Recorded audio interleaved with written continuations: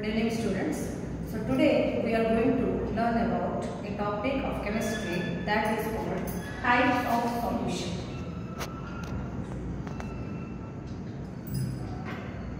So there are basically three types of solution namely unsaturated, second is saturated and the third one is called as super saturated solution. Now, how can we understand the difference between a saturated solution, a unsaturated solution and a super saturated solution? So, if we go by the definition, saturated, unsaturated solution is a type of solution in which more amount of solute can be added so that it can convert into a solution. Now, in case of saturated solution, is the type of solution in which no more amount of solute can be added. Even if we add the extra amount of solute, it will be insoluble. So then we can know that now the solution has reached the stage of saturation. So those type of solution are called as saturated solution.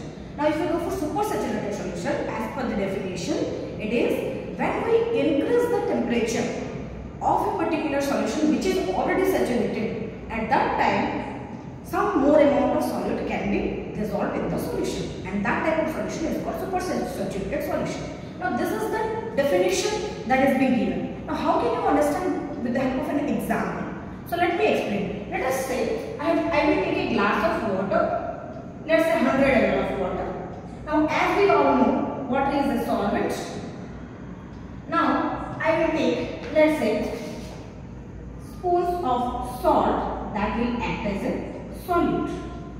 Now, if my solution is completely unsaturated and let's say 10 spoons of salt.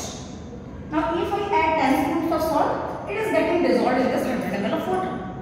Then I can say this 100 ml of water is a unsaturated solution now, which contains 10 spoons of salt. Now, when I go for the 11th spoon of salt, then what will happen?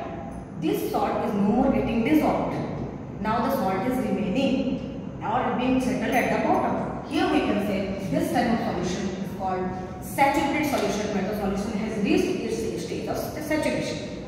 Now for super saturated, if I simply heat this water or supply any source of heat, then I can add extra 2 spoons of salt.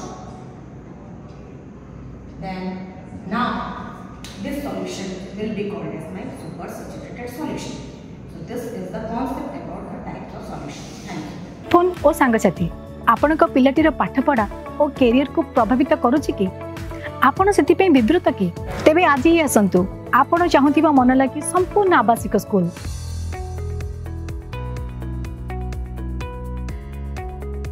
TSC Gurukul Gothapatna Bhubaneswar